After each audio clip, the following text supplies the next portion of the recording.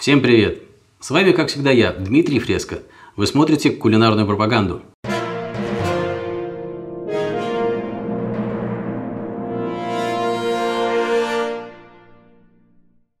Несколько раз подряд меня просили показать паштет из печени. Вань, тебя имею в виду. А я все время отвирался, мол, нет тут в магазине печени и все тут. Захожу с утра в ближайший магазин и вижу на прилавке печенку. Представляете, впервые за полтора года жизни здесь, в этом магазине, есть печенка. Может, меня уже испанцы смотрят? Ну, по крайней мере, директор этого магазина. Короче, купил я печенку. Давайте готовить. Поехали. Важное замечание. То, что практически повсеместно по всей территории постсоветского пространства называют паштетом, ну это такая намазка из баночки, паштетом не является. Паштетом это станет только тогда, когда эту пасту завернут в тесто, запекут в духовке. В результате начинка сожмется, уменьшится в размере. Вся корочка эта тестяная зарумянится. Этому блюду дадут остыть. В корочке проделают отверстие, туда нальют крепкий мясной бульон, такой желатинизированный. Это все остынет, желатин застынет, и только тогда вот это вот блюдо называется паштетом. Я вас пугать такой хитрой технологией не буду, но в результате повторения сегодняшнего рецепта вы получите такое блюдо, какое ни в каких магазинах, 100% даю, не видели. Давайте начинать. Нужно нарезать овощи. Особенно мельчить смысла нет, режьте как удобнее. Я их сейчас буду обжаривать, а потом все равно все через мясорубку пропущу. Начинать сегодняшнее блюдо надо именно с овощей. Им дольше обжариваться. Паштет такого типа можно делать и из говяжьей, и из свиной печенки. И пофантазировать с пряностями тоже можно.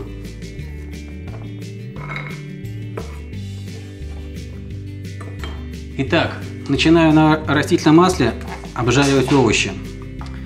Вы, наверное, замечали неоднократно, что если лук слишком злой, то во время начала обжарки он начинает издавать такой неприятный резкий запах. Так вот, к тому времени, как вот этот неприятный запах исчезает, лук начинает золотиться слегка, краешки самые. Вот именно в этот момент и можно добавлять морковь. Вот, смотрите, видите краешки лука? Уже начали приобретать вот этот золотистый оттенок. Добавляю морковь. Тут важно и от резких запахов избавиться, и луковый сок еще сохранить. Пока овощи обжариваются, займемся печенкой. Хорошо, если она у вас чистенькая и никаких следов желчи на ней нет. Надо ее просмотреть всю и негодные кусочки отрезать. Ну и протоки тоже желательно удалить. Хотя, конечно, если испорченные желчью кусочки на вкус повлияют, то всякие протоки в блендере все равно в мелкую пыль будут разбиты. Так что смотрите на свой вкус. Так, что-то у нас с морковью. Прекрасно все. Добавляю коньяка и поджигаю. Брови и ресницы берегите. Сейчас весь спирт выгорит, а обалденный аромат коньяка останется. Пора уже печенку томить. Немного оливкового масла в кастрюлю и печенку туда же. А над овощами уже хватит измываться. Выключаю нагрев. Смотрите, любая печень готовится очень быстро. И самый простой способ ее испортить – это пережарить. Поэтому следите за ней. Разрезайте кусочки. Как только красного мяса внутри не осталось, тут же снимайте с огня. Причем когда я говорю сырое, это значит красное мясо, а не розовое. Снять нужно с огня, когда сок в этой печенке еще розовый. Нам еще готовить и готовить. Сто раз пересушить успеем. Все, снимаю с огня и перекладываю в чашку. Остывать. Смотрите, для чего мы ее сейчас доводили до такого состояния. Дело в том, что сырую печенку довести до однородности, вот размять ее в пасту, очень затруднительно. А такую вполне. И при этом она уже не сырая, но еще не готова. Теперь надо дождаться, когда и овощи, и печенка остынут градусов до 40-45. То есть это когда они еще горячие, но рот уже не обжигают. А я пока замочу желатин, пусть набухает. То, что я сегодня готовлю, называется галантин.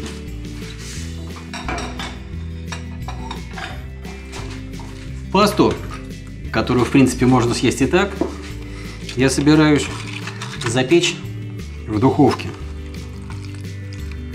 Листики желатина надо залить прохладненькой водой, чтобы набухли, а потом уже будем доводить их до кондиции.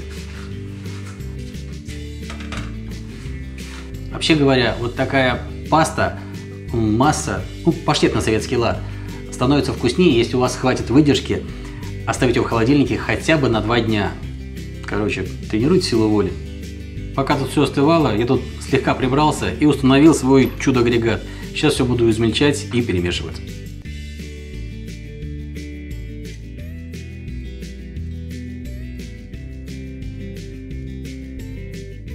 Измельчать можно и в мясорубке, и погружным блендером, и перетирать через металлическое сито.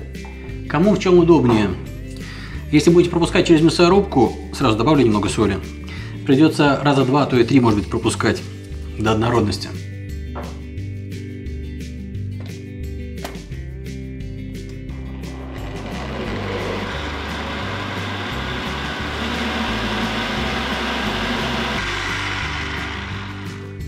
Все более-менее однородное.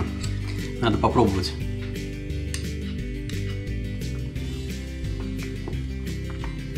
Отлично. Очень удачно я с солью в первый раз попал. Сейчас, так, перец. Мне очень нравится, когда в готовом паштете попадаются целые зернышки перца. Я уже рассказываю вам постоянно эти байки про эти маленькие бомбочки, которые взрываются на языке. Это про них. Я использую зеленый. Вы же решаете сами, добавлять вам перец или нет. Если с перцем я вам позволяю немножко вольностей, то вот мускатный орех здесь обязательно. Его можно и уже натертый покупать. Но вот у нас здесь имеется в продаже целенький. Я использую его. И еще один момент. Если вы готовите этот паштет из... Ой.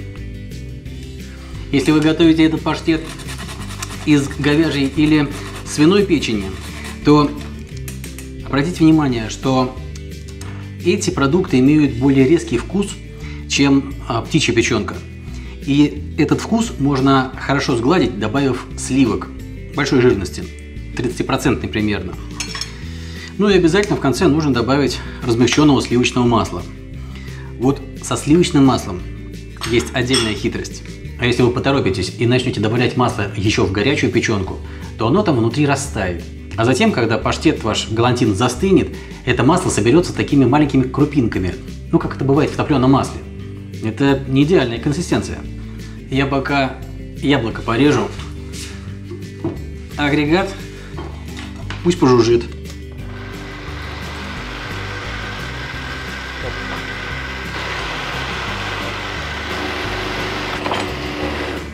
Давайте смотреть. Идеально. Снимаем пробу. Как я люблю пробу снимать. Отлично. Самые терапеги уже могут сейчас приступать. Перекладываю все в форму. Напоминаю, печенку я снимал с огня, когда она еще давала розовый сок. Поэтому сейчас буду доводить до полной готовности. А в качестве крышки, которая к тому же добавит яркости нашему галантину, у меня выступают ломтики яблок. На мой вкус лучше всего подходит сюда зеленые кисло-сладкие сорта. Ну, вы можете со мной не соглашаться. Ну вот, почти последний завершающий штрих. И в духовку. У меня там 180 градусов. Сколько держать галантин в духовке зависит от целой кучи факторов. И объема вашей посудины, и от реальной температуры там. В общем, ориентируйтесь на внешний вид яблок. Стали мягкие, можно вытаскивать. У меня это займет, наверное, где-то полчаса, может быть 25 минут. Я пока займусь желе. Желатин уже размок, надо его смешать с кипятком. А вы читайте инструкцию на упаковке, сколько надо желатина, а сколько воды. Галантин я готовлю из куриной печенки, поэтому желе у меня будет на курином бульоне. Те из вас, кто ВКонтакте в группе кулинарной пропаганды состоит, видели, я фотку недавно выкладывал. Вот здесь. Готовил демигляс из куриных костей. Готовил я его так же, как и вот в этом ролике. С той лишь разницей, что здесь кости были говяжьи, а так один в один практически. И вот в этой баночке у меня результат. Все мне понадобится на эту форму буквально половину чайной ложечки.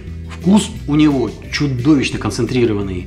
В принципе, конечно, можно и на обычном бульоне желатин развести, а то и просто на воде.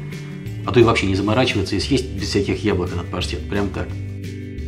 Но я-то показываю, так сказать, идеальный вариант. А уж как его упростить, вы сами сообразите, верно? Осталось залить все желе.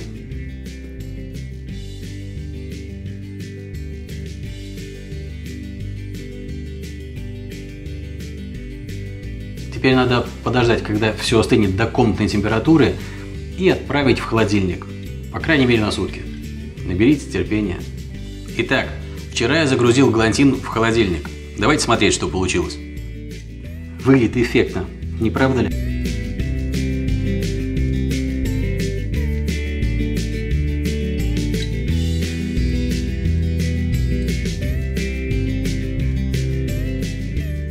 Толстым слоем свежий багет.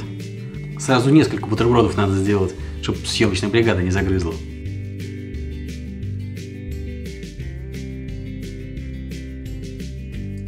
Ну что, протестируем.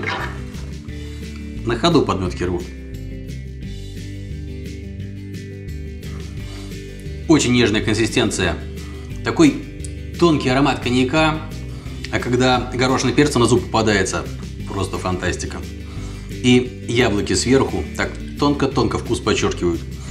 А представьте, как вот эта плошка будет выглядеть на праздничном столе. А? Вот и я о том же. Вот и все на сегодня. Понравилось? Не поленитесь поставить лайк. YouTube в листах выдачи это видео повыше поднимет, больше народу такой классный паштет приготовит. Ну не паштет, а галантин, но не суть важно. Вы в курсе, как кулинарную пропаганду в соцсетях найти, так что удобно? Во-первых, конечно, в описании видео все ссылки есть, а во-вторых, на главную страницу канала переходите, и вот в этом уголочке все ссылки активные. Щелкайте, заходите. Да, как вы считаете, не пора еще очередной вечер вопросов и ответов устраивать? Отмечайтесь под видео. Спасибо за компанию. Пока.